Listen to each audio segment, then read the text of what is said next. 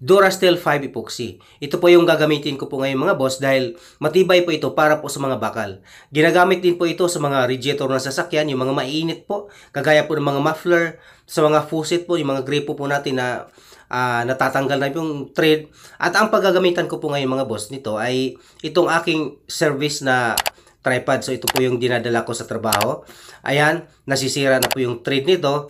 Natatanggal po. Natatakot po ako na baka kung uh, hindi ko po ito dikitan, baka malaglag po ang aking cellphone o camera.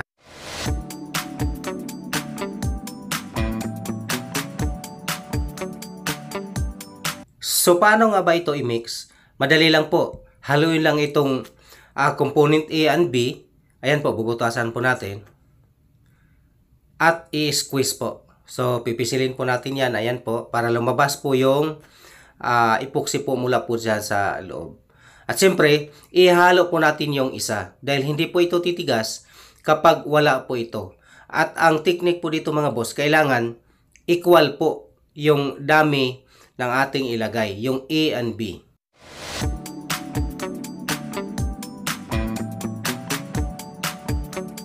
At kapag nailagay na po natin yung component A and B, pwede na po natin siyang haluin. Ang kagandahan po dito mga boss sa Duracell 5 Epoxy ay napakatibay po talaga ng kanyang kapit. Dahil siyempre pambakal po sa just imagine pwede po siya sa mga mainit kagaya po ng mga radiator at mga tambutso o muffler po ng ating mga sasakyan. So napakatibay po niya. Sa ating pag-mix mga boss kailangan na po natin ayusin po talaga paghalo bago po natin i-apply. Ang palatandaan po kung ang pag-mix po natin na hindi po maganda magkaroon po ng iba-ibang kulay dahil kapag hinalo po natin yung component A and B, ay yung isa po kasi kulay puti at yung isa kulay itim. Ngayon, pag hindi po natin maayos yan, makikita po natin na iba-iba ang kulay. So siguraduhin po natin na magiging pantay na po yung kulay gray niya.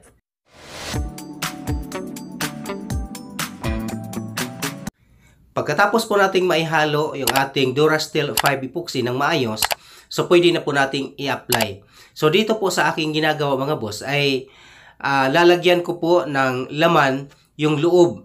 Ayan, gusto ko pong punuin ito para po talaga sigurado na magkaroon po talaga siya ng uh, laman sa loob at makakapit po siya ng husto. At siyempre, yung kabilang side po, lalagyan ko rin po yung thread.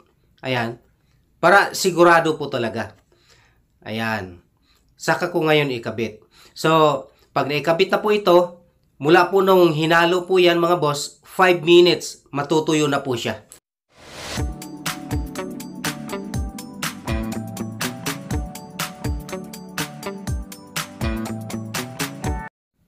At pagkatapos po natin ilagay mga boss, bago po tumigas yan, kailangan po nating linisin yung mga excess na nasa labas po dahil mahirap po siyang alisin o mahirap po siyang linisin kapag matigas na po siya dahil sobrang tigas po niya, parang bakal na rin po.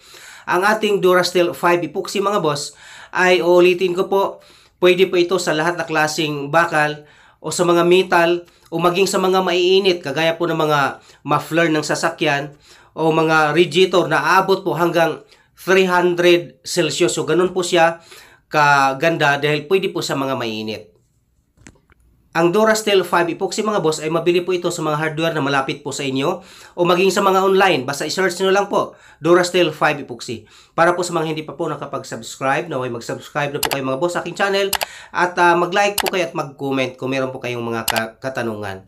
At paki-like at follow na rin po yung aking FB page na Paint and Varnish Solution. Salamat po!